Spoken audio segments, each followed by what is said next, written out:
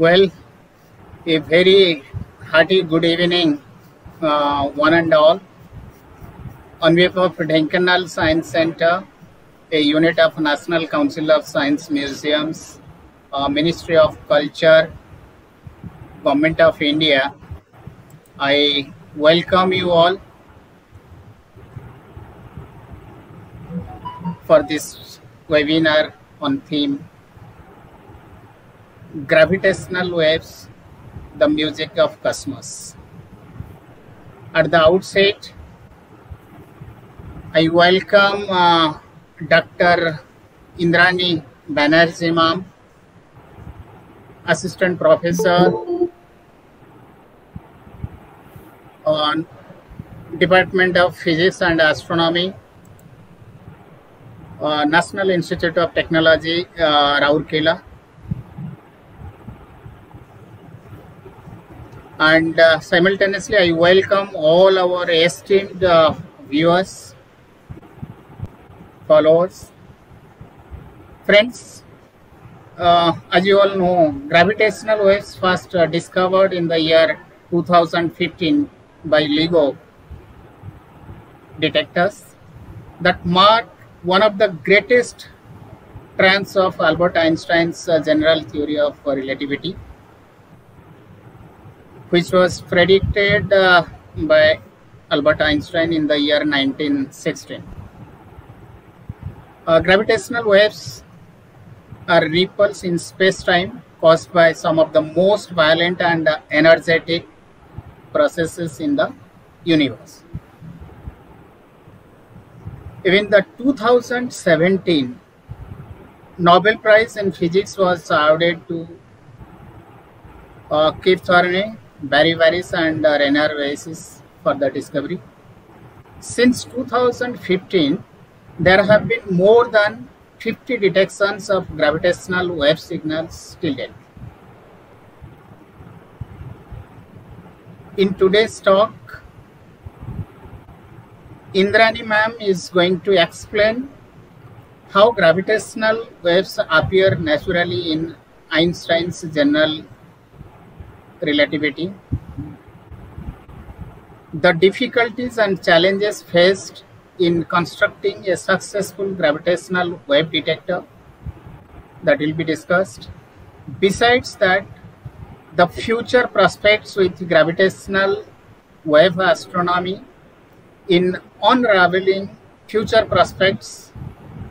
In unraveling the deeper mysteries of the universe that will be also discussed uh, i request all our esteemed viewers please note down at the end and uh, we'll have uh, an interactive session before we start uh, let me give uh, a brief introduction about uh, Indrani ma'am. Ma'am did her PhD in 2014 from Indian Institute of Science, Bangalore.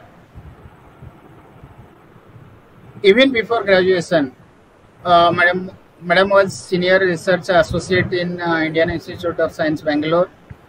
She did her postdoctoral research in SN Bose National Center for Basic Sciences, Kolkata, and a research associate in Indian Association for the Cultivation of Science, Kolkata. At present, she is working as assistant professor, astronomy and astrophysics group, Department of Physics and Astronomy, uh, the one of the renowned National Institute of Technology, Rourkela, Odisha with a very short notice, ma'am has uh, accepted our request. Thanks a lot, uh, Indrani ma'am, for uh, accepting our request uh, to deliver this um, talk. Uh, ma'am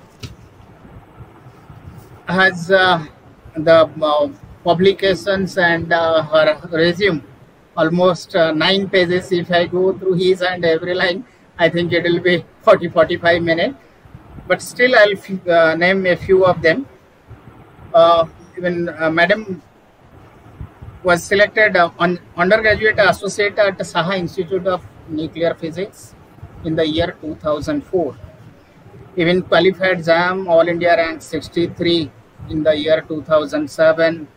Uh, qualified JEST All India rank 98 since graduation. Uh, no doubt, uh, brilliant one.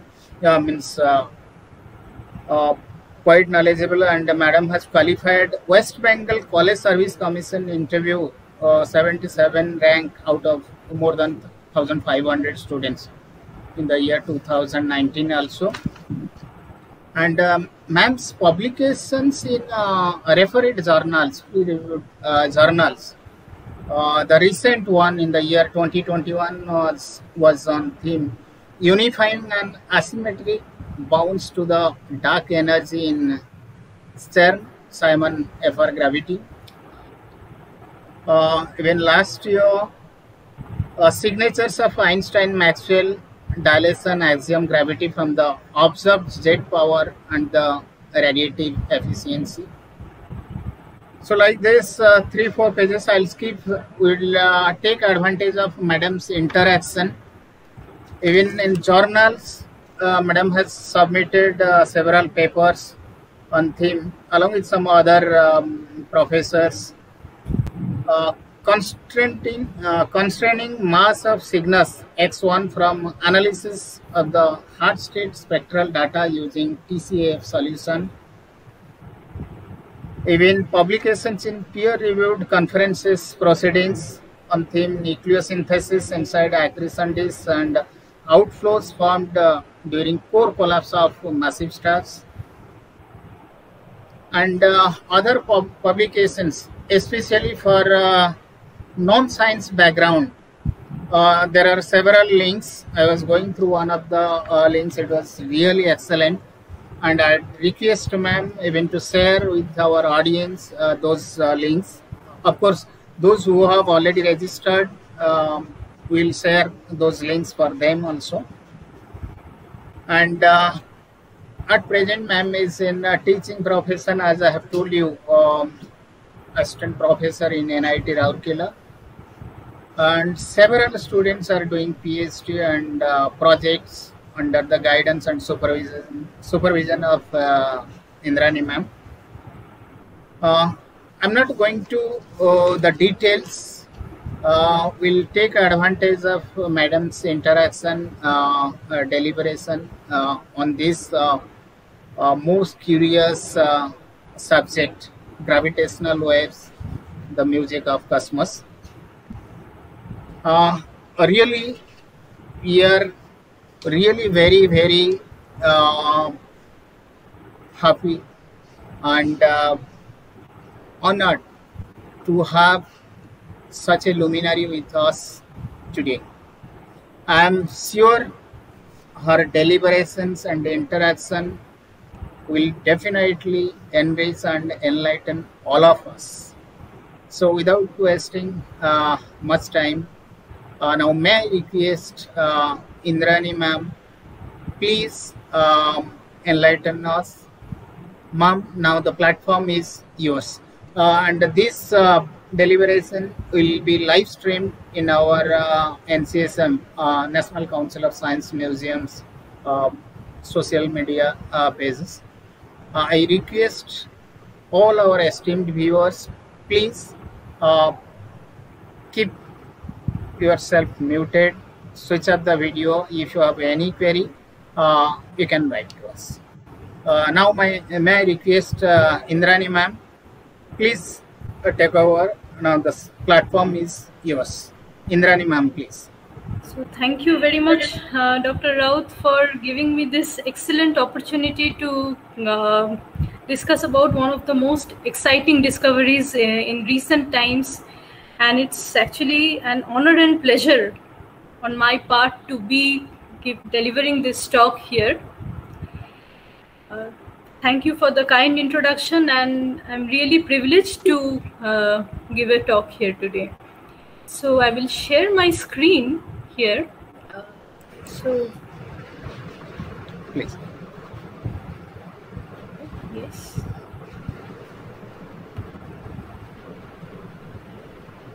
So is the screen visible? Yeah, it will take. Yeah, it's it's coming. Yeah. Okay. Yes. so- let me go to the full screen mode.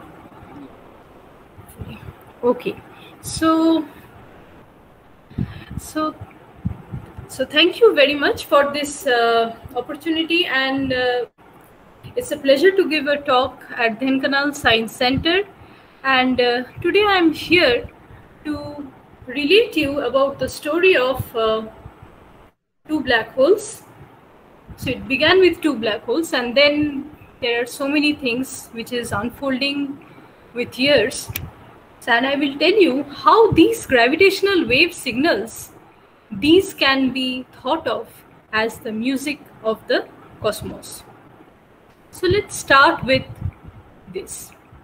So this is a story of the dead stars. So black holes are dead stars. You see that the, there are two black holes of unequal mass. They are in spiraling about each other and as they are spiraling and spiraling, the distance between them is decreasing. And finally, you will see that they eventually merge to a single black hole. Okay. And you might have also noted that while they are merging, and so while they are inspiraling, they are emitting these ripples. So denoted by these green waves. And finally, at the merger stage, you will see that these the magnitude of these ripples become very very high so these ripples are essentially the gravitational waves and today i will discuss how these gravitational waves occur as a natural consequence of einstein's general theory of relativity so the video that i just showed it's basically two black holes which merged 1.3 billion years ago. And let's see this. It's in a distant galaxy far, far away from the Earth. So it's 1.3 billion years ago. And then these waves reach the Earth. So you see that it's making the Earth distort, right? So these waves reach the Earth and they reached on 14th of September 2015. So that was the first detection of gravitational waves from two binary black holes and their masses were nearly 30 times the mass of the sun. So by the way, gravitational wave signals are emitted all the times.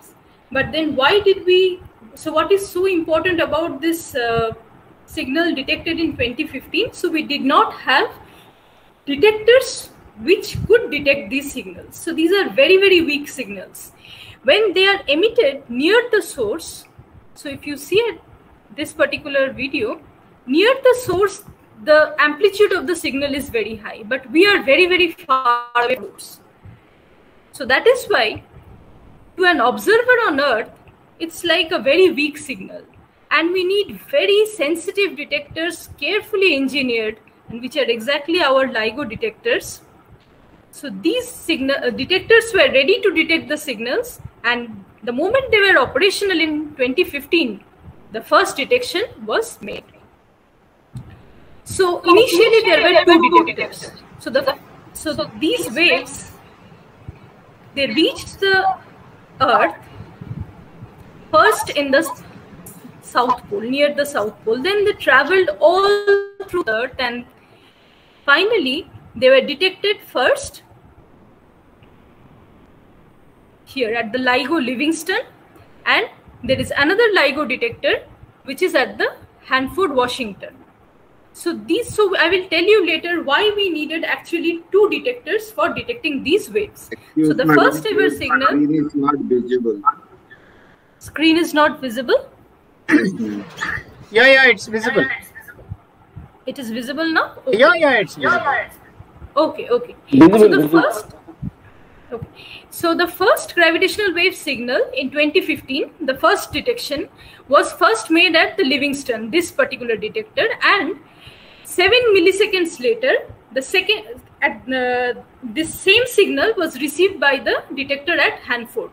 So we need two signals because you see that there are sources of so there are so many sources of noise and we have to be very very sure that it is actually coming from that merger of black holes so if it is so if it is a local noise then it will be detected only in one of the detectors but not at the other but if it is if the same signal is detected by both the detectors then one can this is this is one of the ways to be sure that at least it is from the uh, merger of black holes.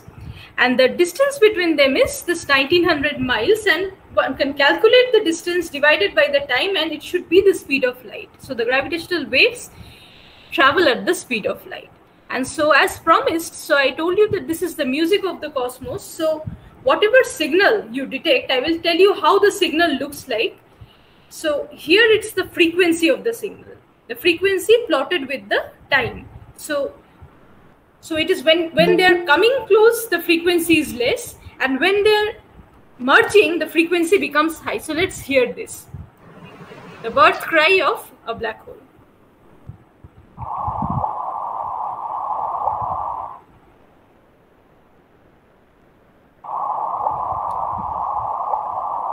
So why do I say it's the birth cry? That's because a new black hole is formed after the merger of these two black holes, which were nearly 30 times the mass of the sun. So that was the first detection. The detection was made on 14th of September 2015, and then it involved, so the LIGO scientific collaboration involved nearly thousands of people, and it was not made public right on the detection. So people kept it a secret.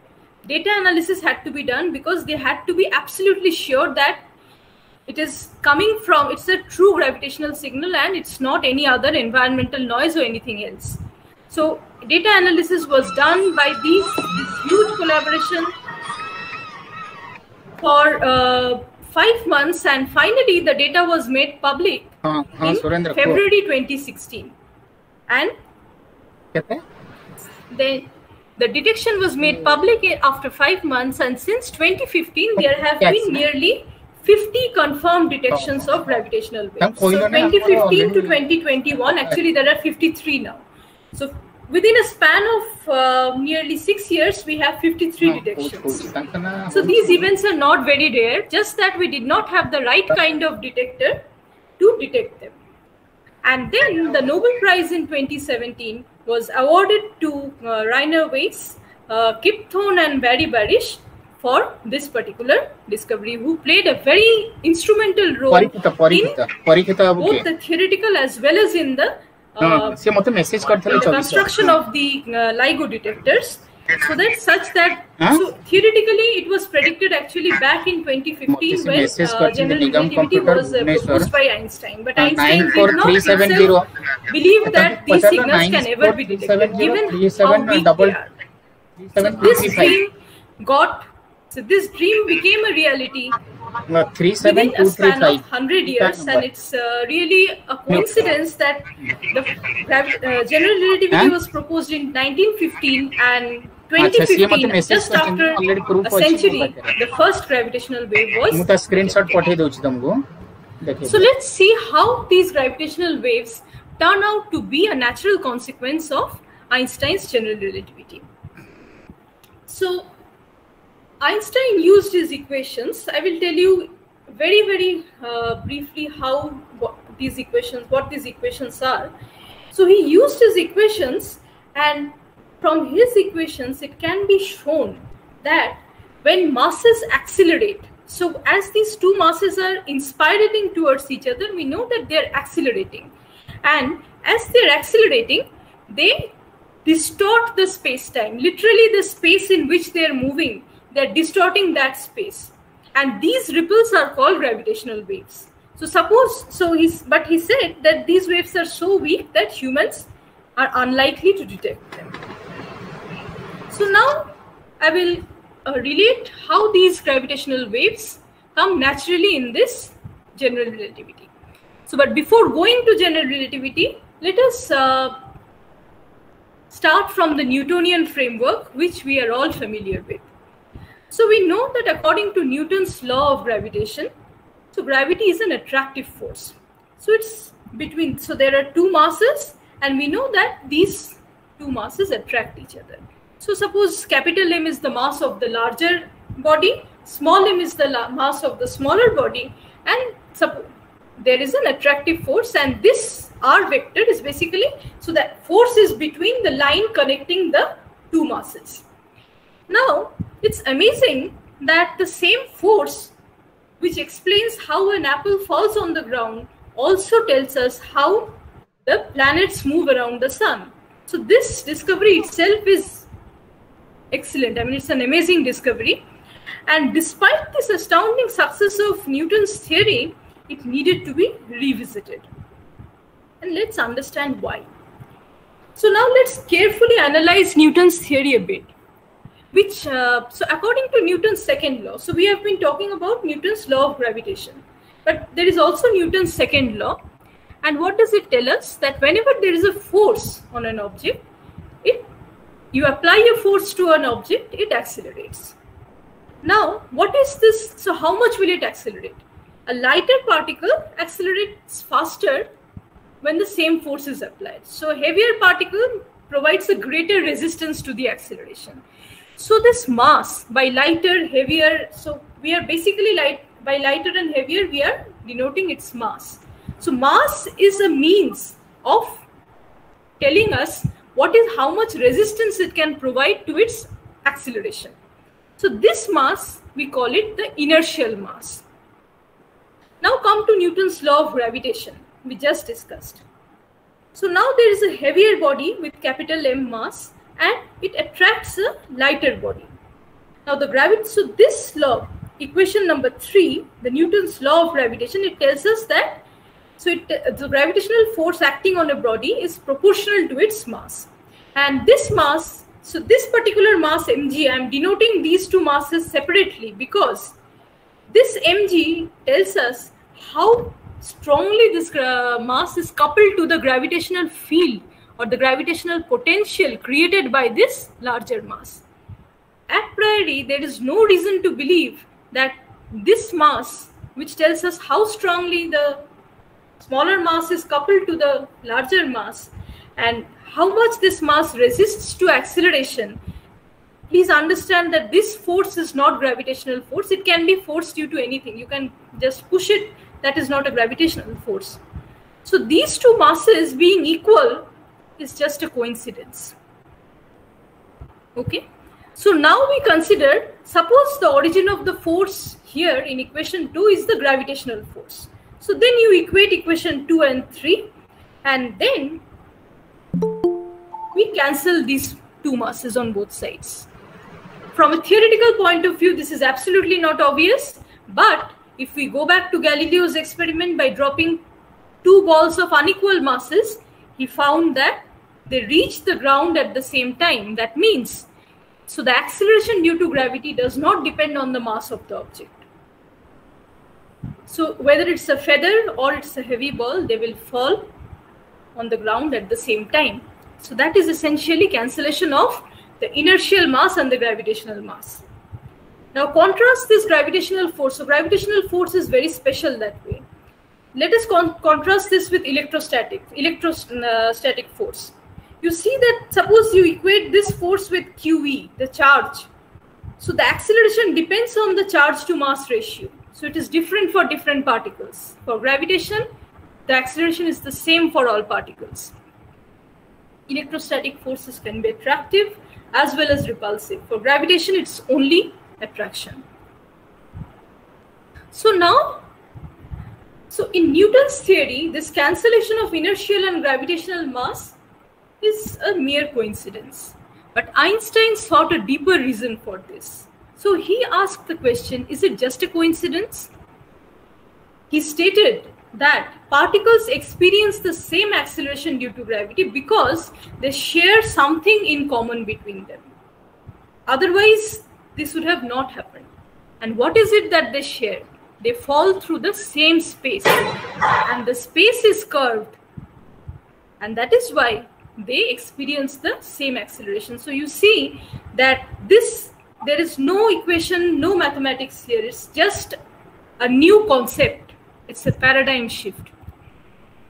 So now let's come to Einstein's framework.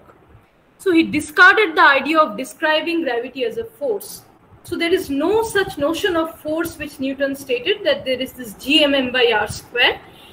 You can explain certain observations in terms of this kind of force and Newton's theory is not wrong. It comes, it is, it is valid, perfectly correct in a certain approximation when the gravity is weak. So according to general relativity, which was proposed by Einstein, so massive objects curve the space-time. Let, let's look at figure 8. You drop a ball on a rubber sheet and you see that it curves the space-time. It's just like that. So if, whenever there is a massive object, our sun, earth, it curves the space-time. The more massive it is, the more it curves. And our earth is much smaller compared to that of the sun. So the amount of curvature it causes to space-time is much less compared to that of the sun which is much much heavier. And therefore we can treat this earth as a small body compared moving around this sun and same with all the planets. And why this earth is accelerating? Or it's moving in the circular motion? Because it is moving in a curved space-time space so for the timing it is moving in a curved space created by this by the heavier mass which is sun. So now till now I have been talking only about curved space. But then uh, we always hear that uh, there is this one term space and time. And why did it require to be unified? Because that's because the because of the laws of special relativity. So when we were studying uh, in the early 1900 the motion of relativistic particles, it was found that so the speed of light has to be constant in all in the speed of light in vacuum has to be constant in all inertial frames. Inertial means non-accelerating frames. So in order to, so this was a requirement which was coming from the laws of electromagnetism. And so, so when the laws of electromagnetism were not there, so Newtonian framework was perfect. But the moment you have to bring in electromagnetism and then there were electromagnetic uh, so the we, we came to know that light behaves like an electromagnetic wave and it propagates at a particular constant speed so no signals can travel faster than this particular speed of 3 into 10 to the power 8 meters per second so this requirement gave rise to this unification of space and time. I will not go into the details but this is the reason we have to unify space time and then but then the question is why do we so why do laws of physics have to be same in non-accelerating frames? Isn't it a bit special? What happens if we also consider accelerating frames? And exactly einstein did that. And if you consider accelerating frames the same two postulates but now you make it more general relax this assumption of inertial frames you get what you arrive at is einstein's general relativity so then it turns out that if we are studying accelerated frames, it is equivalent to study motion in curved space-time. And if we are limited to inertial frames, that means we are actually studying motion in flat space-time. So that is the chain of argument we follow. So accelerated frames means we have to study motion in curved space-time. And I told you that how it all came about. So now consider so non-inertial frames and curved space-time. So consider motion of a pendulum in a uniformly accelerated bus. For a for an observer in the bus, the pendulum experiences no acceleration. Why? Because the bus is accelerating in this direction, so in the negative x-axis, and you see that there is a pseudo force. We are all familiar with that. And to an observer in the bus who is a non-inertial observer, there is no force. Now, for a frame moving with uh, so suppose this particular observer who is seeing the bus to be moving okay so to him there is uh, this uh, so, so they will so to this person to this lady this is a accelerated frame now suppose so this is a uniform acceleration suppose we have non-uniform acceleration. So that means non-uniform means at different points in space and time the acceleration is different. So you have different uh, inertial frames at every point in space and time you have to give a different fictitious force to nullify the effect of the acceleration. So you have a series of so that's why we call locally inertial. And then it was it can be shown that this locally inertial is essentially analogous to the idea of locally flat. So it's like a small patch of a curved sphere appears flat, but actually it's curved, it appears flat. Similarly, a small, if you apply an uh, a fictitious force to a non-uniformly accelerated observer, to that observer, it is perfectly inertial. So this analogy had a very important role in Einstein's relativity. And then, so, it, so I said that in special relativity, we are dealing with flat space. And flat space means Pythagoras theorem. We know that, so consider this flat space. We know that we are very familiar with our Pythagoras theorem. It's in two dimensions, figure E, and this figure is for three dimensions. So this the modulus of the vector square is ax square, ay square, and az square. So now consider the same Pythagoras theorem in three dimensions, but now we will consider a small local patch. So that is why differentials dx square, dy square, dz square. And now those of you who are familiar with matrices, you can easily show that you can split this equation like this. It is so you can just do this multiplication, matrix multiplication, and this is so this particular matrix. So this particular matrix is the flat matrix. Okay. So Pythagoras theorem is valid only in flat space. If you have a curved space, the sum of the angles of a triangle is no more 180 degrees, and you have to go beyond that. And general relativity is essentially studying motion in flat space, in curved space. Note that in equation 7, the coefficients of dx squared, dy squared, dz squared, these are all unity. What matters is that these coefficients are 1. Now let's go to a more general case. What will happen if we have more like all these elements are not constants. So we have off diagonal elements and all these are functions of x, y, z. So that is basically when we will have some functions say f1, f2 and f3 multiplied to the coefficients and that is our curved space. And then I said that we have to unify space and time. So you have to bring in this. So along with Pythagoras theorem, the dx square, dy square and dz square, you have to bring the dt square. To keep the dimensions, bring in the speed of light and just split up in the same way. So this is the flat metric in special relativity. In general relativity, you make it more general there are coefficients, there will be off diagonal terms. So terms like dx dy, dt dx, that something like that. And so you will have a non-flat metric. Okay. So this is essentially the so when you are so this is so metric is the fundamental quantity we are dealing with in general relativity. Metric tells you how to measure the distance between two points. So special relativity does not take into account acceleration. In general relativity, it is taken into account. General relativity. So when you so when you are taking acceleration, I told you that it is equivalent to considering motion in curved space-time, and therefore, it is then it became very natural that when you are studying motion in curved space-time, there is no notion of force, and that notion of force which arose in Newton's law of gravitation had to be abandoned. It is essentially there is a, some heavier mass, or and you also know that mass is equivalent to energy. So there is some heavier mass, some mass energy, and that curves the space-time. We have some smaller particles which also curves the space-time, but to a much lesser extent compared to the heavier mass, and it moves, so it accelerates because of it's moving in a curved space. So now I will just sum this up Newton's picture versus Einstein's picture.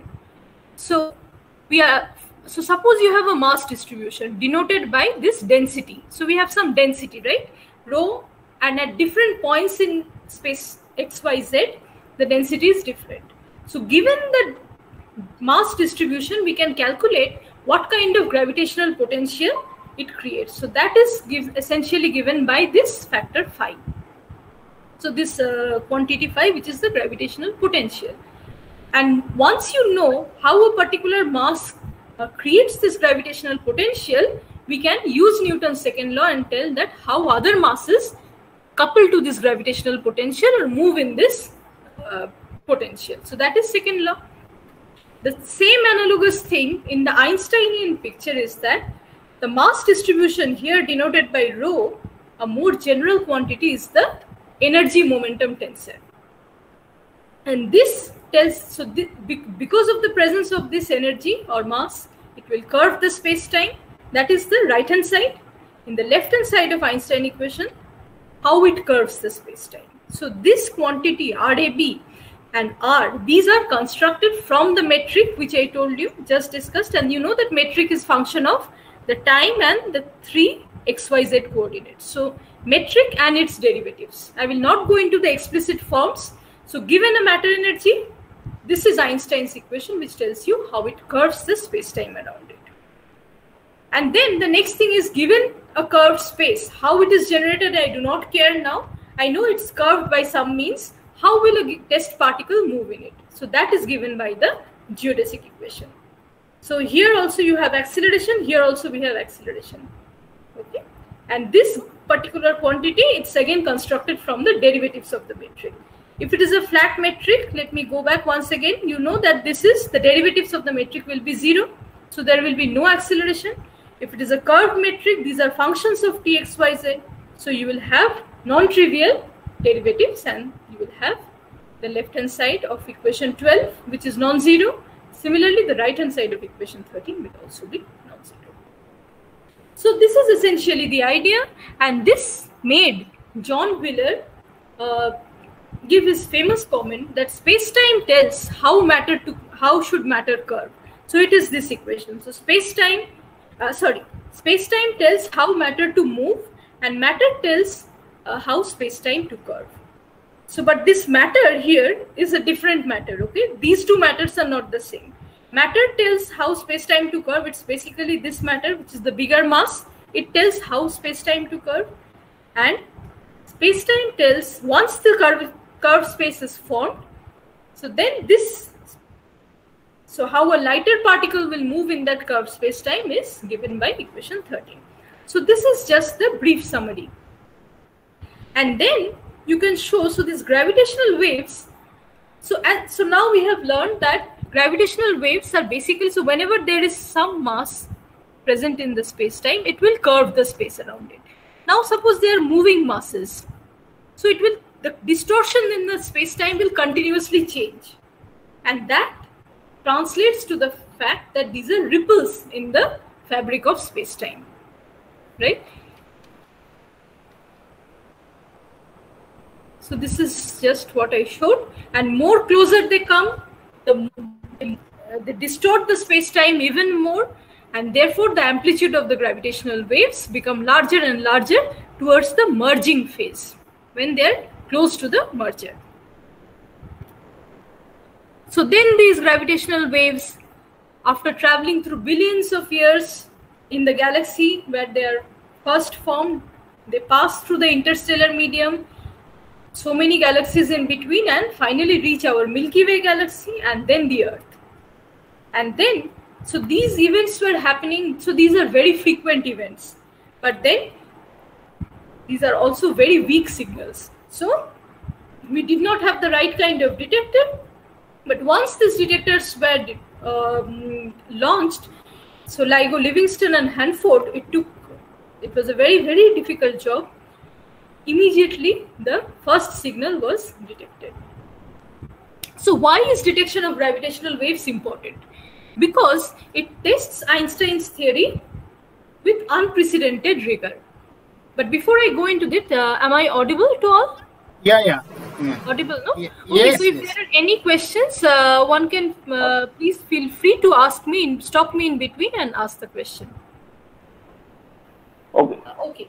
You, So- your lecture, your lecture, madam, your speech is over right now. You No, no, no, no, right no, now. no. No. Oh, okay. Okay. Bandopadhyay ji, you please uh, note down the points. Uh, at the end, we'll give some time so that we can have uh, interaction with uh, ma'am. Oh, okay, sir. Okay, okay, sir. Okay. Okay. Okay. So then, uh, the next question is so. uh, So this is a prediction of Einstein's general relativity. So that was that prediction was made uh, once this theory was proposed in 1915, 1916, and then so why people were so interested about detecting these waves? Why take so much of pain? Because first of all, it so it is it tests so it is one of it is it will so Einstein's theory was uh, tested several times by uh, motion of mercury, perihelion precession, bending of light. Okay, but apart from that, this will be another independent test of Einstein's theory. Okay, now it provides uh, proof for the existence of black holes. So Einstein himself, uh, so when black holes were first uh, predicted theoretically, so nobody believed that such objects could exist in the universe. These were bizarre objects.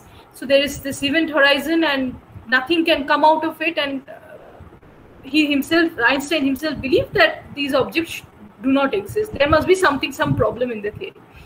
But then in the 1960s, black holes were the discovery of the black hole started taking place. So that was through electromagnetic signals that uh, that are emanated from the surroundings. So how the surroundings which, uh, fall into this, how the surrounding uh, particles which fall into the black hole, the kind of signals they emit from that signals, the electromagnetic signals, people indirectly inferred about the existence of black holes. And now this gravitational wave is a direct detection. So these ripples are directly detected. So it opens up a new window. Apart from electromagnetic signals, it opens up a new window to explore the cosmos. It has the potential to tell us about the origin of the universe. And it can also reveal new physics about which we have no idea. It can, that is also uh, very eagerly awaited. So now the differences between electromagnetic waves and gravitational waves. The first thing is that we know that electromagnetic waves, so the particle corresponding to electromagnetic wave, we have photons. And these photons are propagating in the space-time. And so these are vibrations. So you can also uh, consider them as, so these are waves, vibrations traveling through space-time. But gravitational waves are, the space itself is vibrating okay so so something vibrate uh, passing uh, traveling through the space time and here the vibration the gravitational waves are essentially vibrations of the space time the electromagnetic waves can be easily absorbed it can be easily scattered. However gravitational wave for gravitational waves once they are emanated from the source the chances of scattering absorption is minimal. So that is why although they are very weak signals if you can detect them you uh, since they are not scattered not absorbed they can tell you so they are more purer signals they can give you a, uh, they can reveal greater information about the more correct information about the source which is uh, from which they are emitted. Okay? And of course these are incoherent emissions from atoms molecules but gravitational waves are coherent emissions due to bulk motion of matter itself. Because the matter is moving distortions in space time and these are traveling through the uh, spaces. So many gravitational wave sources may not be detected electromagnetically. So that is again, so we have, that is why it's said that the detection of gravitational waves opens up a new window to the cosmos. So you get independent, another chance to understand the various sources in the universe from by another independent um, uh, measurement. So how does the LIGO detector work? So what is the principle? The principle is very simple. It starts with the idea of Michelson interferometer. Okay, so you have a laser light out here, and then there is a beam splitter. We have all studied Michelson interferometer. So then it goes to, and there are two mirrors. It reflects through these mirrors. So beam splitter, it splits. So there is a reflection here, and there is a transmission here. So the reflected ray goes and hits this mirror, reflects. There are several reflections back and forth. So this is a slight advancement in actual Michelson interferometer. We do not have this mirror and this mirror. So these are inserted for reasons I will tell you later. So, but uh, so there are some back and forth uh, reflections, and finally, when they come here, and also this laser light, it comes here, it so there is an interference. So in just normal ordinary interference of monochrome uh, so coherent sources. So why laser beam? Because there is we need only one single wavelength. So there's a coherent source, and finally, finally they will uh, interfere, and, and they will be detected at the photodetector. So, so now let's see. Now, once the when the gravitational wave passes, so when uh, there is no gravitational wave, the entire arrangement is made in such a way that so the length of the mirrors, uh, the length of these arms are four kilometers. You can imagine how huge they are. So these are four kilometer arms, and they are uh, arranged in such a way that without a gravitational wave, there is a destructive interference. So no light will be detected at the photodetector here. So let's see this now. So here is the beam splitter, the detector, the mirrors, and finally you detect the uh, interfered light at the detector. So it comes and splits and then there is so this motion this motion of the two mirrors is when a gravitational wave passes. Why? Because it's a ripple in the space time so let's forget time for the time being. So it's this it's causing ripples in the space. Now mirrors are existing in the space so everything which is there in the space will uh, experience this vibration so it will stretch on one end and then it will squeeze. And in the next moment, it will stretch the other end and this one will be squeezed. So let us see it now. You see the laser light comes and then it hits one of the mirrors, reflects, comes back, back to the beam splitter, interference happens the photodetector, there is a destructive interference. So this is the arrangement. So there will be absolutely there will be no no light in the detector. So that means there is no gravitational wave. Now a gravitational wave, suppose a gravitational wave passes. So it's a matter of chance. Such events are happening, and it passing it's passing through LIGO detector. So now what will happen is you see that the waves do not exactly cancel. So there, one part is stretching, the other part is squeezing, and there is some light signal in the detector. So when you detect this light signal, that means in the LIGO detector, it means that it's because of these gravitational waves this has happened. So the interference uh, is because of the interference of, it's basically ordinary interference of laser beams. But so as we all know so there is so suppose these two waves are interfering constructively so you will see a louder wave. For ligo they are interfering destructively. So there is no light at all to begin with. But the moment the gravitational wave passes there is a phase difference between the two so that phase difference is no more pi by 2 so there is not exact cancellation. And that will lead to a light signal in the photo in the light detector. And the moment you detect this light signal means that there is a gravitational wave which has passed through the detector.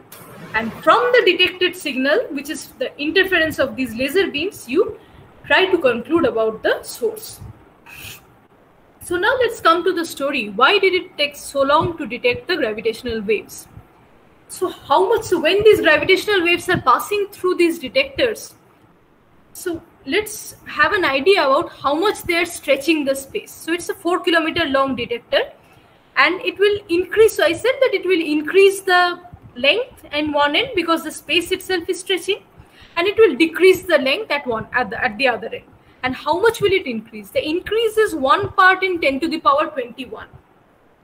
So imagine that at the distance between Earth and Alpha Centauri, it's in some light years, and the change in the distance happens in just uh, like the dimensions of human hair so the distance between the two objects are changing so some some light year distance so this distance is 4 kilometers and because of this gravitational wave the 4 kilometer distance is changing to 4 point after 4 point there are 20 zeros and then a 1 that is the small change in distance which LIGO is detecting.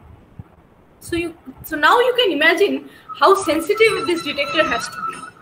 The arm length is four kilometer. So this this is one of the reason why one has to keep this arm length as four kilometer because the longer one makes the arms, the sensitivity so it the, the sensitivity increases. So then it required tremendous advancement in technology to finally detect them. So it started with Joseph Weber in University of Maryland, who came forward with the idea of uh, this gravitational wave detector. So there were reasons for this because in the 1960s, the black holes, first of all, it was estimated that these will, uh, so there has to be very violent events because even gravitational waves, suppose two people's friends are dancing amongst each other, they will also create ripples in space-time. But that is so tiny that uh, it cannot be detected. So it has to be very heavy masses. So black holes, let's so, so the first detection was 32 black holes. Mass is 30 times the solar mass. How much is one solar mass? It is 10 to the power 33 grams. And 30 times the mass of the sun, these two black holes. So these two, so imagine that they are they are very heavy objects.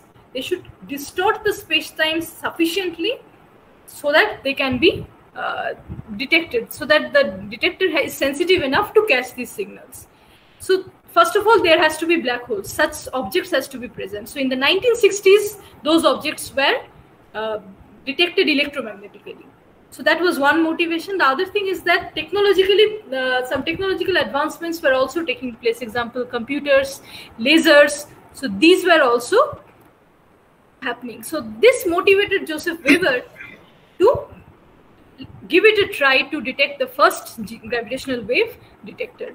And then Kip Thorne, so one of the Nobel laureates who uh, was given the Nobel Prize in 2017 for gravitational waves. So he was inspired by Joseph Weber and John Wheeler, who was his own uh, PhD guide. So then he, so he was a graduate student at that time.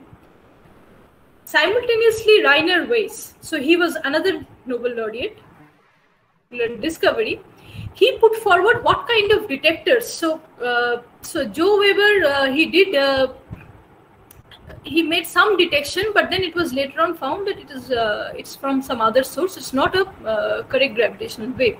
But then people, so he was the first person. He's called. That's why the father of uh, all gravitational wave discovery. He put other people in it. Rainer Weiss. so this like idea of using Michelson interferometer in the LIGO detector, this idea first came from Rainer Weiss.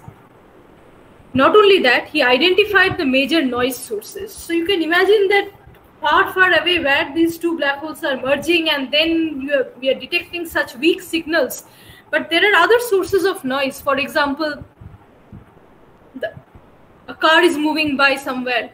So that will create vibrations, that will create more vibrations, earthquakes thunderstorms and there are god knows so many noise sources so that has to be properly identified and those sources of noise have also uh, so these sources of noise also need to be eliminated if you want to get the true signal. And then he calculated that the sensitivity required for such detectors has so it required measuring motion of mirrors of the order of 10 to the power minus 17 meter.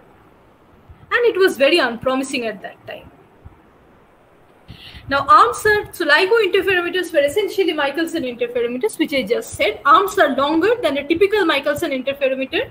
So typical. So if we recall our Michelson-Morley experiment, the arms were like 1.3 meters, and LIGO in LIGO detector, the arms are four kilometers. So four kilometer, it was increased to that level. Why? Because uh, it will make the signal more to amplify the signal. There are other ways to amplify the signal, that is, put it in the Fabry-Perot cavities. So this was proposed by uh, w, Ronald uh, P. Drever. So insert two more mirrors and there will be repeated uh, reflections. So, so the laser beam initially, whatever, so it's of 1064 nanometer and this will be like 10 watts, but then it will become like megawatt of order uh, power after these reflections and then this recycling technology had to be used so a lot of technological advancement was required And then in 1976 78, the first decision to develop. So, with all these technological advancements, this started occurring to people that this might not be so impossible. So, that is why the decision to develop gravitational wave detector in Caltech and it was led by Kip Thorne. Then the experimental group was led by uh, Ronald Drever and uh, Stan Whitcomb, and simultaneously at MIT, Rainer Weiss was also uh, trying to materialize his ideas. And then the collaboration started, began beginning in 1984. And then, of course, uh, and so Robbie Vogt was uh, made the director of LIGO in 1987 because then, like, people had to people realized that it is not the work of a of one particular group who can do it. So we have to need to bring to bring people together, and then uh, Barry Barish, who is the third Nobel laureate, he was so he was working in LHC at that time. So Kip Thorne asked him to come and join this particular collaboration so he was uh, he had this uh, expertise in building this large kind of detectors and then the collaboration kept on expanding and now it's like there are like more than 1000 scientists working on this project. And then from 2000 to 2010 the initial interferometers were built and eventually the advanced ones were installed. But lot and lots of engineering was required. And then this might be a question by now to many of you that how to ensure that we are actually detecting a true gravitational wave signal. So first of all these four four kilometer long arms have to be there. So that's why the arm length is made long. The mirrors in the by uh, against which the laser beams are striking. So these are heavy mirrors and they are smoothest possible mirrors ever created. Till date. The mirrors suspended by silica threads just twice the thickness of a human hair to isolate them from the environment. They are kept on springs and weights to absorb movement from the ground.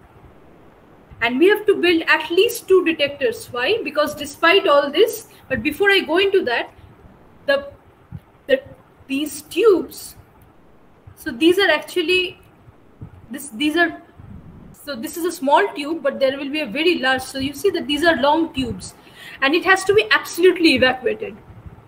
So it's one part in 10 to the power 12 atmospheric pressure. So that level of vacuum had to be achieved in order to assure that whatever we are detecting it's a true signal. So that so then and finally we have to use laser beams because it has to be a coherent source a single wavelength because you're trying to measure distances with uh, changing wavelength it doesn't make any sense right? So so many conditions need to be satisfied. Also the stability of the laser. That means the fact that the wavelength just to ensure that this 1064 nanometer laser is not changing its wavelength it's even if it is changing the stability is like one part in 10 to the power 20 so point after point 19 zeros and then one. That is the magnitude of stability of the laser. So so much of uh, engineering had so each of these steps getting the smoothest mirrors the silica threads the the uh, cushioning the mirrors appropriately with springs and uh, springs and weights then the laser beam the um, the appropriate using the appropriate laser the stability of these laser beam also the creating that uh, vacuum evacuating the tubes. So each step is very very difficult. And then you have to create not only one but at least two detectors because despite all this suppose you have detected a signal you cannot be very sure that it is the true gravitational wave signal because there are so many uh, ways of uh, there are so many noise sources. So if the same signal is detected at the at both the places so there are no local effects. One can be at least sure that this is uh, coming, this is genuine signal. The other reason for building two detectors is that for locating that object in the sky. So this is called triangulation. So you have to so it's like you have to produce those rays back and try to see where they meet. So it will give you a rough idea that where exactly these gravitational waves were emitted. So this means that the more the number of detectors, it will give us, it will allow us to confine that area better and better. And that's why initially there were two LIGO detectors and then the Virgo detector came up, which started uh, giving us data from 2017. And then uh, there are many, many proposed uh, gravitational wave detectors. So let us now uh, hear from uh, one of the key persons who was involved in this particular detection. He started, so it's Professor Rana Adhikari uh, from Caltech, who started his uh, on this work uh, from uh, from his graduate. Yes, yes. Am I audible? Yeah, yeah, ma'am, you are audible. Uh, any questions? Oh, no, no, no. Okay. So, okay, so I will now just show you one. So, how the scientists first reacted. So, it is from Rana Adhikari, who is uh, who was involved in this project for more than two decades, right from his days of uh, graduate studies. So, he was a PhD student under Rainer Weiss, who is one of the Nobel laureates. So, let's listen to him. Hard to overstate how anomalous. Um, Sunday night, at both places, people are working. And it's like here, um, there's some stuff going on. Like you look down here, there's just some people whittling away. Sunday night, it's around midnight basically, at both places, both teams without talking to each other are like, well, tired, let's go.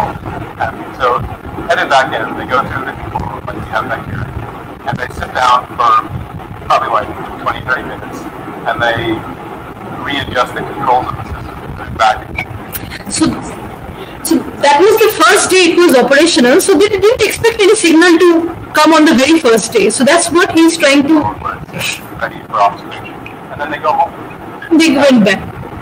Probably before they even arrived at home, that signal came through Louisiana and Washington. What, what's the chances of that? They could easily have just worked for another half hour and then. It's not just that it was really something in the first hour, but how strong it was. And we've now uh, looked at the data for the next several months, then until January. Nothing in the data that long. Can you tell me about how you first realized that LIGO have detected gravitational waves? I think I was traveling on that day, I didn't know. And I came back here, I believe, on on the day after, and I was wandering around the building, and people whispering and looking over their shoulders. Uh, you didn't want to spill it, so they were saying, "Did you hear? Did you hear? Or have you seen it? What do you think?" I said, I don't even know what you're talking about. And they said, "Yeah, but it's like there's, a, there's an event that looks really real." I was like, "Whatever. I don't have time for this nonsense. I got things to do, man." Why weren't you more interested? Like, this could be it, right? You've been working, what, like a decade? So that's what the, that was the first reaction. I don't have time for all this nonsense. So it was, but but then after just going over the data again and again, and of course another thing, so it might be a spurious signal. Not only that, if is, is it some PhD student cooking up something somewhere? Maybe they have hit something because it so it's the career of so many students depend on this particular discovery. If it is not discovered, that means there's so many theses are involved in it. So we have to like explore every possibility to just zero down to the fact that it is actually a genuine discovery. And that's why when it was first detected in September 2015, the data was not released for the next five months until people were absolutely sure and it's not just one person. It's the entire collaboration of nearly 1000 people who uh, analyze the data to uh, finally release the uh, results in 2016 so how does a signal look like? I if you put it in a speaker you put this particular thing in a speaker, you will uh, hear that particular sound. So it's from the merger. The two black holes are initially far apart. It's called the inspiral phase. Then it's merging, and then the signals become they increase in amplitude as well as in frequency. And finally, they merge into a single object whose mass is, so this capital M, the single object has a mass lesser than M1 plus M2. The difference is emitted as gravitational waves. So the, for example, the first one, it was like uh, 65 solar masses and the final object is like 59. So probably 5 to 6 solar masses was, uh, or maybe 3 to 5 solar masses were emitted as gravitational waves. So 3 to 5 solar mass means 10 to the power 33 grams and multiply by c square so we can imagine the amount of energy emitted in gravitational waves. And in order to model, so there has to be appropriate theoretical models now. So once the detector detects this, one needs to be sure that these are coming from black holes. So that means you have to solve Einstein's equations once again. That when these moving and spiraling around each other. And we have to solve these Einstein's equations are highly nonlinear equations. And therefore, we require numerical techniques, uh, which is called numerical relativity, especially to model this merger phase. And so, so there has been a tremendous development also in the uh, theoretical front. So uh, till now I have been talking about the developments in building the detector.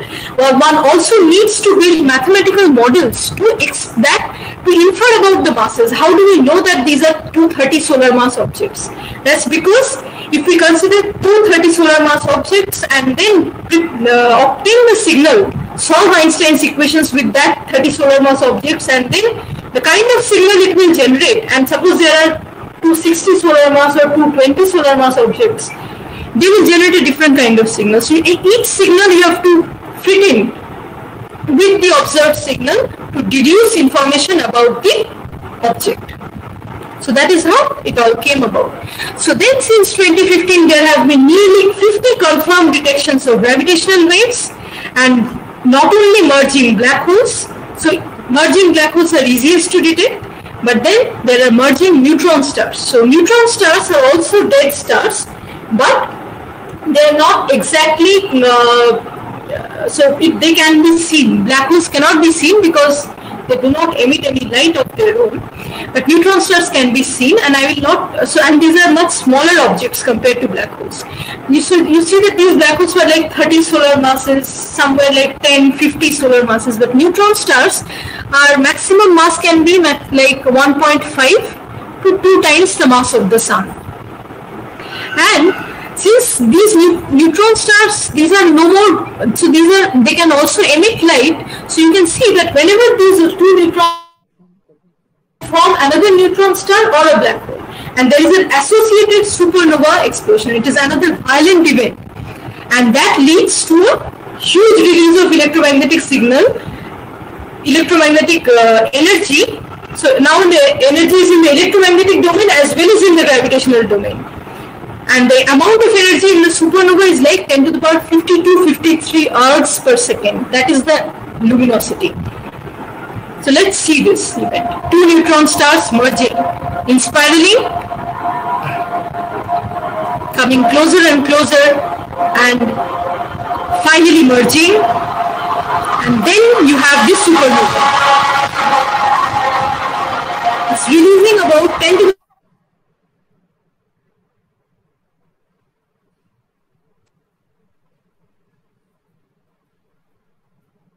present in the galaxy. So, merger of neutron stars gives us the scope for multi-messenger astronomy. What is multi-messenger? We can see the same object in from using gravitational waves, so GW signals as well as EM, electromagnetic signals. So now, sources of gravitational waves uh, detected so far, these are from compact binary mergers. Like compact binary mergers means merger of black holes, merger of neutron stars or one neutron star, one black hole and this is how the waveform looks like. But there can be other sources of gravitational waves. For example, there is a neutron star, this is a special kind of neutron star called pulsar. And pulsars rotate at very high speeds. The rate of rotation is constant and it's very accurate, it doesn't change. But there are deformations on the surface of this object. It's not perfectly sphere.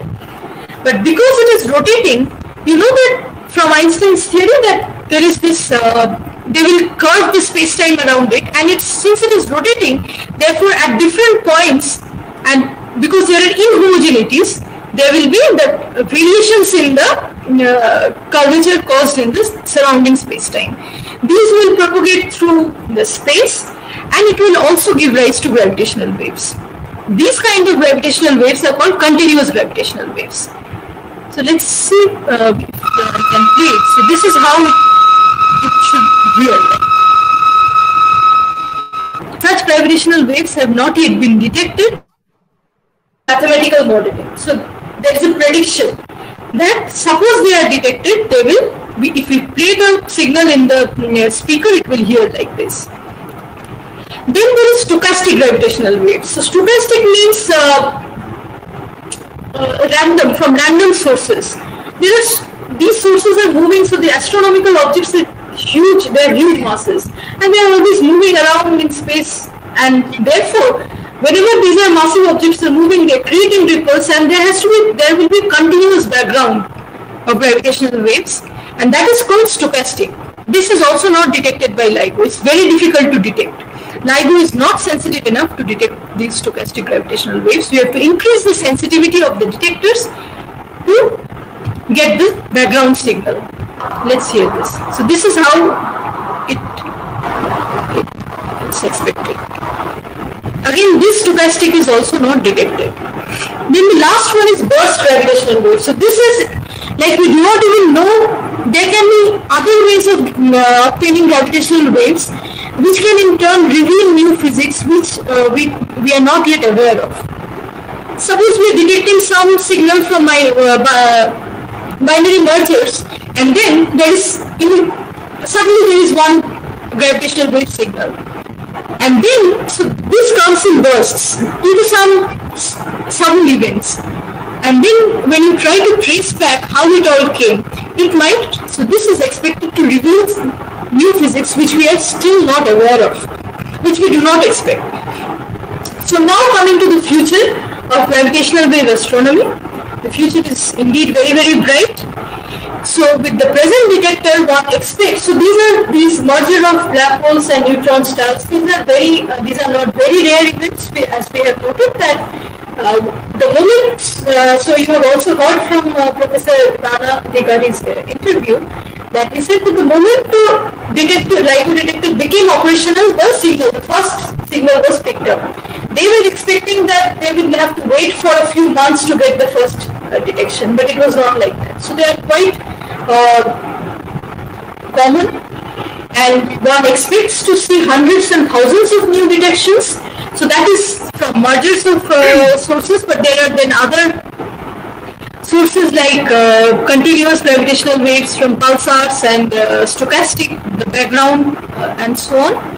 So we have our ground-based detectors LIGO and Virgo which are operational at this point. LIGO India is proposed uh, and uh, there is ongoing work. Kagra in Japan. Einstein telescope, it's the third generation uh, ground-based telescope. So LIGO India, Kagra, Einstein telescope, these are all future telescopes. And these are all ground-based. Even Einstein telescope is ground-based. So it's the third generation ground-based telescope which is expected to be operational by 2025 to 2030 and it will have a much, it will have a more increased sensitivity. Then we have the, so there are propositions for the space-based missions like DECIGO, DECIGO and LISA. So DECIGO is Interferometer Gravitational Wave Observatory and LISA which is the Laser Interferometer Space Antenna. So these will be launched in space. And why is it necessary? So one point which we need, which I need to emphasize, the LIGO detectors are sensitive to frequencies of the order of uh, hundreds of tens to hundreds of hertz. So those objects which emit gravitational wave signals in that frequency only can be detected by LIGO. But suppose there are uh, gravitational waves from supermassive black holes, certain millions and billions of solar masses. They will emit gravitational waves of the order of, of the frequency millihertz. So we have hundreds of hertz here and that will be millihertz. So that cannot be detected by LIGO because LIGO is not sensitive to that particular uh, frequency. That is why the need to build LISA and then, so LISA is sensitive to millihertz order and this DECIGO is sensitive to hertz, 0.1 to yeah, yeah, one maximum 1 hertz order. And these are also expected to be operational by 20 in the next 2030s and 2034. So the future prospect with gravitational wave astronomy is very bright and lot of new physics is expected and we are also expecting to know more about fundamental physics the nature of strong gravity. Because gravity uh, the einstein's gravity although it's a very successful theory there are places it fails. For example the black hole there is a singularity the black hole singularity there are other places also einstein's theory there are some problems in the theory so is there something more fundamental since we are probing the strongest regime because this merger is the strongest regime we are we can expect that if we can get these signals, we can get to know more more uh, more about the nature of uh, gravitational interaction. So earlier when we were considering weak gravity, Newton's law was perfect. A more stronger regime, black holes and all, we could not apply Newton's law. So we have to consider Einstein. Suppose we go to even stronger regime. Is Einstein's theory perfect? Or is we need some modifications to that? So in order to understand that, we need observations, we need proper signals. And this, the prospect with these gravitational wave detectors, so these detectors are expected to give us those signals which will, which will tell us more about fundamental physics as well, and also of course more about our universe. So with this, I would like to thank you all for uh, your patience and uh, for giving me this opportunity to give a talk here. And I'll be happy to address questions. Excellent, ma'am. Excellent. Uh, that's what Professor uh, uh, I'd request our uh, viewers if you have any query, please uh, uh, you can unmute your mic and ask questions if you have any doubt. Sir, uh, sir, uh, may, may I raise I raise Yes, yes, yes, yes. Bandhapadhyay, we can hear you. Just uh, re- just reduce the volume and uh, you can switch on your video. Uh, yes. Uh, sir, uh, madam, uh, madam, you have delivered uh, clearly about gravitational wave.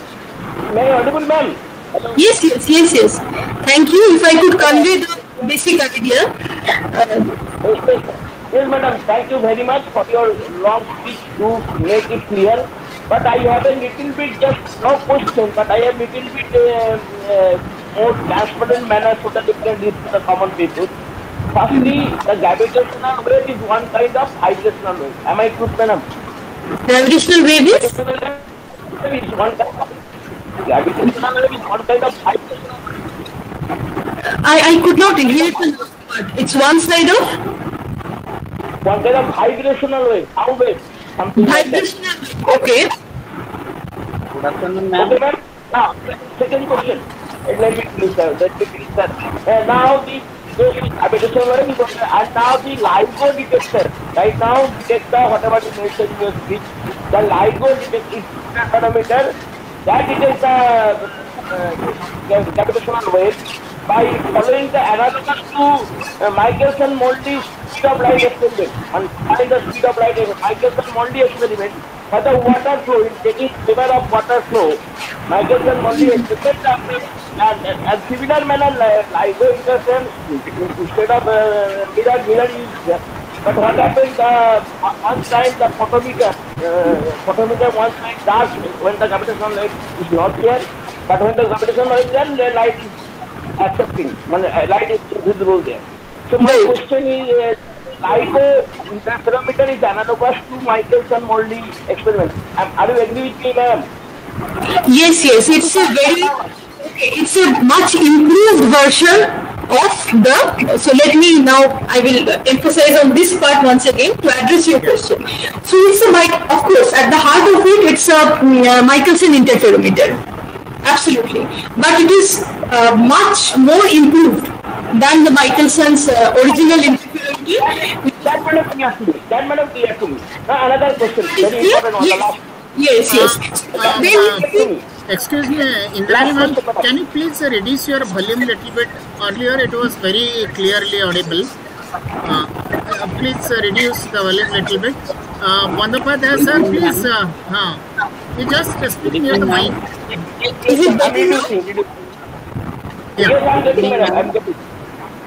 I'm getting madam. Yes, yes. Yes. Madam, my last question. Madam, uh, you have uh, mentioned that uh, gravitational mass and inertial mass.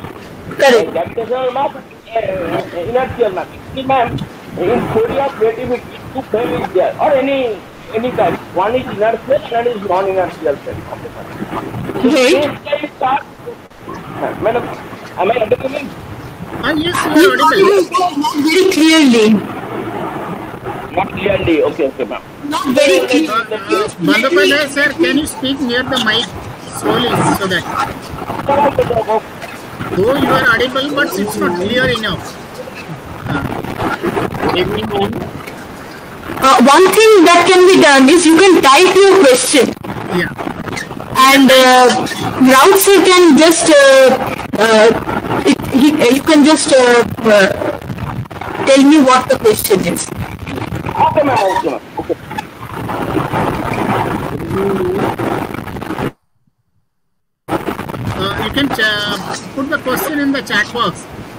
Uh, in the chat box, so maybe I will st- uh, stop sharing then. Uh.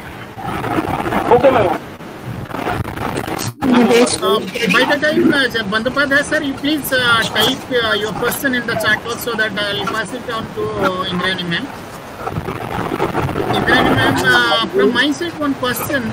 Actually, uh, during the talk you have mentioned mirrors are suspended with silica thread. Yes, yes, yes. Uh, why uh, the specific reason uh, physics uh, why they are suspended with silica thread uh, So it's the so if you are so there are so many sources of background noise. You see, Yeah, yeah. so one has to screen out those things. The mirrors have to be cushioned, Yeah, appropriately cushioned. So they have to be there has to be springs so, so that even if there are vibrations from the earth, yeah, so it should be cushioned. It should not happen. Uh, so the mirror should not feel the vibrations of the earth.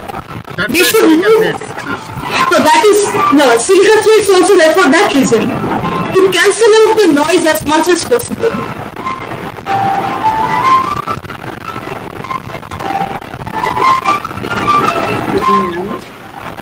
Yes. yeah. Bandapadhyay sir, Uh, myself Jyotiranjan Panda. Okay, okay, sir. Okay, Uh, sir. uh, Okay, sir. Bandapadhyay sir, please uh, mute your mic. Ah, yes. Jyotiranjan, I'm audible.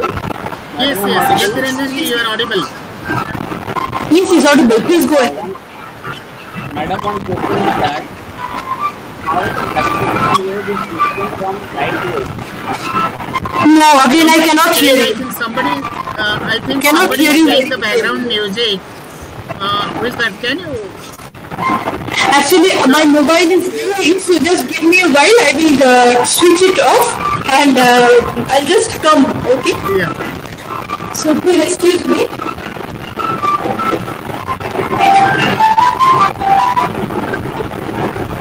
Uh, Jyotiranjan ji, uh, you can ask. So, I'm sorry for this interruption. Yeah, yeah. yeah. Uh, madam, ma'am, uh, good evening, ma'am.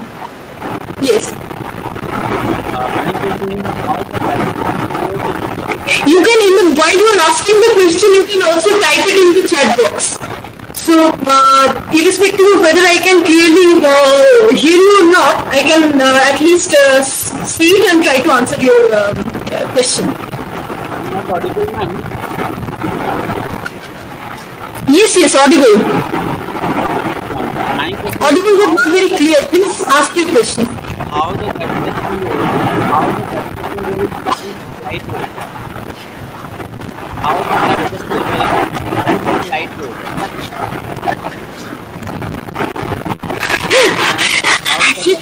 I think I need a detector like LIGO to amplify and then hear the questions. So why don't you type it? Uh, but Dr. Neeraj Chove uh, has mentioned, Dr. Neeraj Chove, most updated and an ideal presentation. Even uh, Mr. Chandranath uh, Mansi, uh, wonderful presentation, very informative and worth attending. Thank you. Uh, Raj Dildehab, appreciated. And friends, actually, because of time constraint, I know uh, once a professor start, it will be keep on continuing. There is no ending as long as professors are concerned. Uh, and uh, for if you ask the queries, but we will restrict because of time constraint. I request you all, uh, please uh, uh, write your questions to us so that we will pass them to ma'am and uh, ma'am will answer. Uh, Bandyopadhyay sir, are you uh, satisfied uh, or your queries uh, can be taken Yes, satisfied, satisfied, satisfied. Satisfied. Uh, thank you all uh, on the on behalf of Dhenkanal Science Center. Uh, our heartfelt thanks due to Indrani ma'am. Thanks a lot, ma'am. Uh, it was uh, really excellent and um, um, lecture. And uh, this topic is too vast. Uh, thank you all. Even ma'am has uh, accepted our request with this very short notice. She's in Rourkela and because of this pandemic we are conducting all our programs online. So thanks a lot. Uh, Science Center, unit of National Council of Science, Ministry of Culture, uh, Government of India. Thank you all and I thank wholeheartedly all the participants and all our viewers. I can see some more uh, means, uh, uh, persons from the chat box that I will share uh, later with Indrani ma'am. Uh, ma'am, uh, ma'am has written uh, some article uh, that is basically for online articles for non-science background people. I request because ma'am have already attended seminars, conferences in uh, ESA and all that. Those links are there, ma'am. Can you please share those links? Uh, links of the online articles. Uh, yeah, yeah. Otherwise, I'll, I'll, I'll share with them. Yes. Okay, okay, I will, I will do this. I will do this, and in the meantime, those of you who have questions, you can type in the chat box, uh, so that uh, I, I, I can also try to answer them. Uh, okay, so I will share those links. I'd request you all, please go through those, uh, online articles. And uh, in a very nice and lucid manner, it has been mentioned, and it is basically for uh, non-science background people. You all please go through that.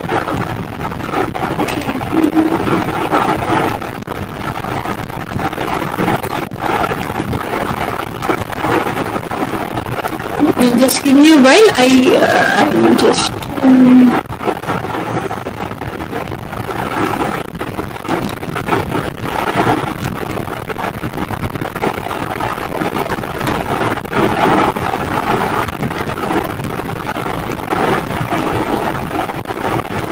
So, right now program is over. Am I? Program is right now over. One sec, one sec, Bandopad. Right now program is Uh, over. otherwise, ma'am, I'll, I'll, I'll share with them. sir, I just shared in the chat box. Ah, yes, yes. Uh, thank you, we got it. Uh, I request you all to please uh, go through this online uh, article. Uh, once again, thanks a lot, uh, Indrani ma'am, and uh, thank you all. Namaste. Sir, uh, Huh. sir, uh, sir, there is one question uh, in the chat box uh, from Jyoti Ranjan Panda. So is asking how gravitational wave is different from light wave. Yeah. Okay. Yeah. So, uh, so light wave is a, you know that light is an electromagnetic wave, right? So there are electric field and magnetic field. It's, these are mutually perpendicular and they're propagating. Have three directions. So whatever is the direction in which it is moving, you have electric fields vibrating and you also have the magnetic field vector which is vibrating. So these are these two waves are propagating in space time. So it is propagating in something which is propagating in space. One. And for gravitational wave, what is vibrating is the space itself. Okay? So that's one The other thing is that electromagnetic waves can be attenuated. It can be absorbed. Suppose a source emits some electromagnetic signal at some point in the universe. It can be absorbed while it travels through the interstellar medium. It can be uh, there can be dispersion, there can be so many other things. So as a result of which, the if you want to, because of these effects, the correct information about the source from electromagnetic signal is difficult to uh, extract. So you have to keep take into account so many effects. For gravitational waves, there is no such problem of attenuation and all these things. So that is why they are more purer signals. You can get a greater information and a better information about the source. And again, one more question from Jyotiranjan Pandaji. Is it longitudinal or uh, transverse wave? light wave. So it's a longitude. It's not long. It's it's not about longitudinal transverse. Okay. So that concept. So so you are basically considering like uh, sound waves or light waves. Light wave is transverse. Sound waves are vibrations along the direction of propagation. So it's longitudinal. This is so you see how how is sound wave created? It's because of the pressure differences, right? Something is vibrating somewhere and then it creates pressure differences in the medium and then it just propagates. So that medium is itself in, in, in some space, right? And suppose you're sitting on a chair and the chair starts vibrating. You're in some space and the space starts oscillating. It's, it's, the idea is like that. But the speed of propagation of gravitational waves is the speed of light.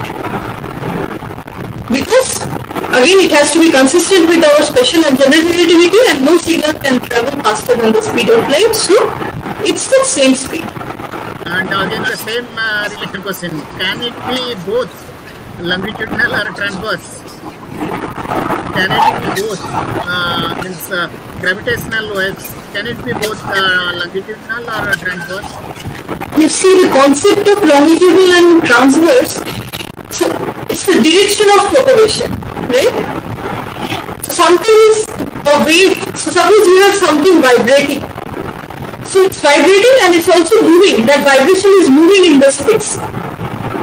So suppose something is moving in this space and it's vibrating like this. It's moving in this direction and vibrating also along the direction at the same direction. It's longitude. Okay? Something is vibrating, moving in this direction but vibrating perpendicular to it. It's transverse. But suppose if the space is vibrating, it is a different kind of motion altogether, right? Audible. Uh, Jyotiranjan, sir? Ah, Is yes, that clear? Audible. Yeah, yeah, you. Yes. yes. Yes, madam, actually the main important thing is the, the light uh, Not, not very clearly audible. Can you just type it once again? It will be better. very badly outside. For some reason I cannot hear uh, the things very clearly. The questions in particular. uh, Jyotiranjan, sir, you can continue.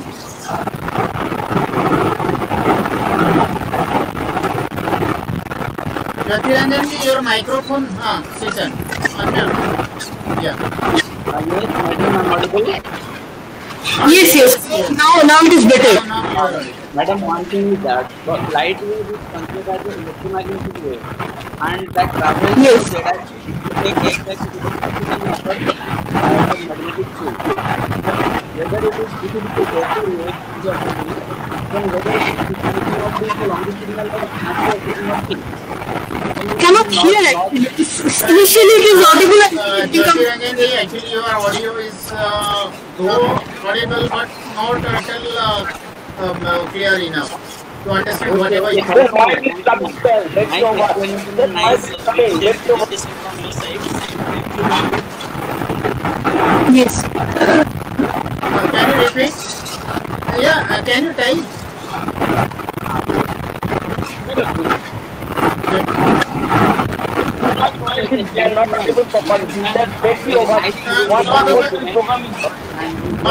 Ji, can you please uh, mute your mic?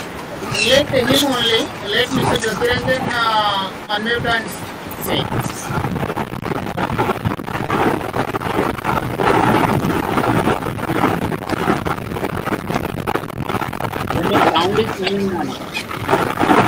when the sound is coming, that was not audible. That's a nice suggestion. And we thought we would have a very good idea for that. And after this, we will have a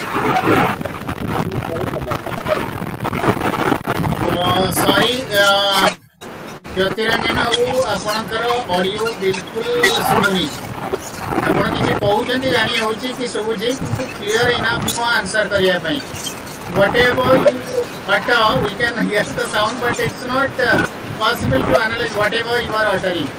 Yeah, whatever you are telling. Uh, uh, uh, you can do one thing. Uh, I request you, uh, please, uh, please um, uh, uh, mail us whatever queries you have, and we'll um, share those questions with uh, Hannah and uh, we'll the yeah, I think um, that seems to be the only way. Yeah. At this point. Uh, his uh, email ID is uh, jpandla579 at the gmail.com. Okay, please uh, you write your query and uh, we'll uh, share it Okay, friends, uh, it's almost uh, more than one and a half an hour. Uh, thank you all uh, for all your uh, generosity. Uh, thanks, ma'am. Thanks a lot. Thanks. Uh, and uh, thank you. all. We'll end the meeting. Thank you. Thank you, Dhenkanal Science Center, for this invitation, and it was a wonderful experience giving a talk. Thank you. Thank you very much. Thank you, thank you, ma'am. Thank you. Thank you so much. Thank you very much. Thanks, sir. Okay.